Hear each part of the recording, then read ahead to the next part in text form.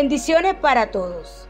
La Universidad de La Guaira, el Grupo Contacto con la Comunidad, la Facultad de Ciencias Sociales Humanas inicia su segunda etapa de la Cumbre de Política Social.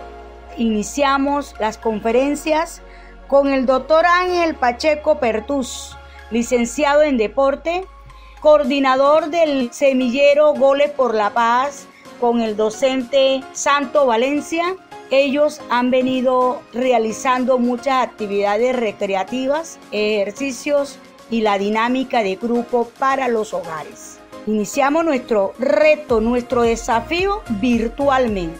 Contacto con la comunidad de la Universidad de La Guaira presente con el COVID-19 en La Guaira, en el mundo. Gracias por su conferencia Gracias por estar en el grupo. Un hombre brillante, un hombre de comunidad, un hombre de entrega. Gracias, mi doctor. Con ustedes, el doctor Ángel. Hola, mi nombre es Ángel Pacheco Pertús, docente de la Universidad de La Guajira en el programa de Educación Física, Recreación y Deportes.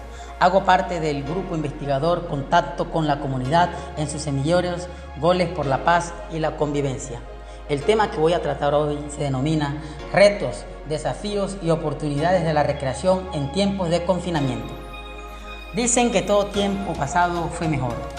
El bello recuerdo del trabajo de campo realizado en comunidades indígenas junto a mis estudiantes me llena de nostalgia al ver cómo en un abrir y cerrar de ojo todo cambió un virus maligno ha azotado la tierra y amenaza en contaminar a todo aquel que no acate las normas de higiene, salud y cuarentena en la que hoy en día vivimos.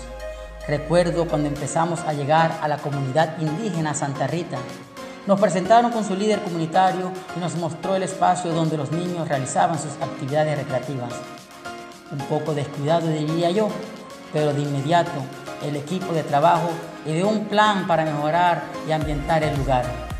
La actitud positiva del docente y los estudiantes contaminaron a los niños y se empezó a darle vida al espacio. Recuerdo que culminamos con rondas, juegos de integración y una pequeña oración que dio como despedida una nueva cita en el lugar. Cada sábado era esperado por los niños y niñas para un nuevo encuentro divertido. El profesor, junto a sus estudiantes, llegaba a la hora pactada y siguiendo un cronograma que partía dando gracias a Dios, daba paso a las diferentes actividades recreativas que llevaban inmersa valores como la amistad, el respeto, la solidaridad, la igualdad, la honestidad y otros con el desarrollo de la actividad se iban presentando. Pero de un momento a otro todo cambia la libertad con la que nos podíamos desplazar se vio coartada gracias a la llegada del COVID-19 a nuestro territorio y entramos en una etapa de confinamiento.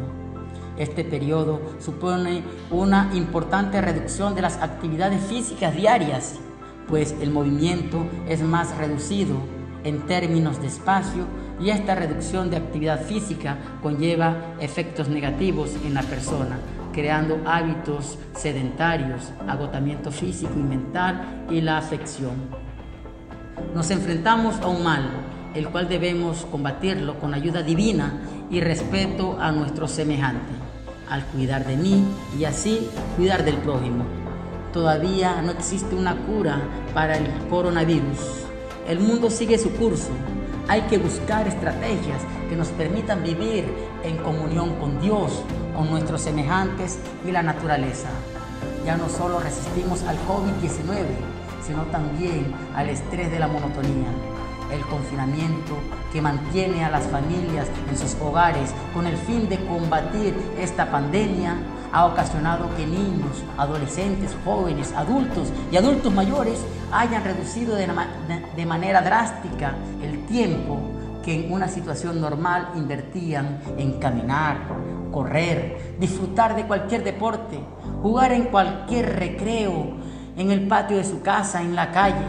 Es por esto que a través del ingenio, la creatividad y la motivación rompemos esa barrera de lo formal y cotidiano para trasladarnos al mágico mundo de la lúdica y la recreación, donde compartiendo en familia podemos disfrutar de los largos tiempos en casa, realizando juegos de pisos, juegos de mesa, recordando viejos dichos y refranes, leyendo un libro al contemplar el ocaso, realizando juegos que supongan algún desafío cognitivo, bailar o cualquier otra actividad fuera de lo normal que te haga sentir vivo, que te haga sentir renovado, dichoso de tener la familia que tienes, los amigos que tienes, del ser dichoso del ser humano que Dios hizo en ti.